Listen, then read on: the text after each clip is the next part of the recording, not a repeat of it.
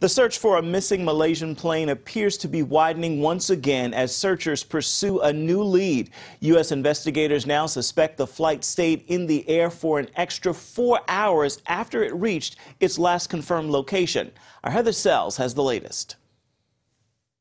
Investigators now believe that the missing Malaysian plane may have flown for five hours. That's four more than they first thought. The Wall Street Journal reports the clue is based on data automatically transmitted from the Boeing's engines. This latest lead raises all kinds of new questions about who and why someone on board may have diverted the plane.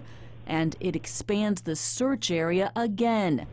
If the plane kept running for an extra four hours after last making contact, that's an extra 2,200 nautical miles.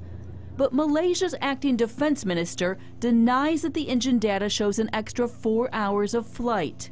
I fear that the search and rescue uh, becomes just a search, but we will never give up hope. Authorities have been searching for six days now with nothing to show. Today, planes checked out an area where Chinese satellite images showed possible debris, but they found nothing. Malaysian authorities are facing tough questions for their handling of the investigation. At times, they've issued conflicting and confusing statements. For families of the missing passengers, the wait is excruciating. There is no news whatsoever. It's just disappeared off the face of the earth. And if we could just find some wreckage or something, would be a help, probably. But not this.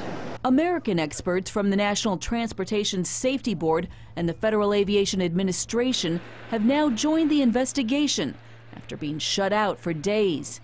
So far, authorities have not ruled out any possible cause.